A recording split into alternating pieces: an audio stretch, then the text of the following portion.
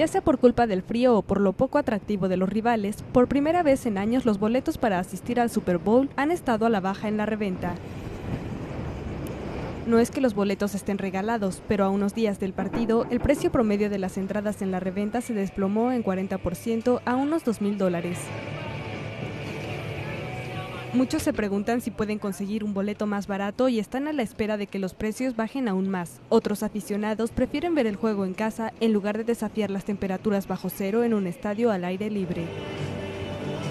Los precios han bajado tanto que a principios de semana una firma ofreció un boleto en 585 dólares, uno de los precios más bajos de reventa para un boleto de Super Bowl registrado desde 2002. Para el juego del domingo, en el estadio MetLife de Nueva York, se esperan temperaturas bajo cero. La NFL decidió innovar al otorgarle la responsabilidad de organizar el juego con todo y los riesgos climatológicos que ello implica. El Universal Televisión.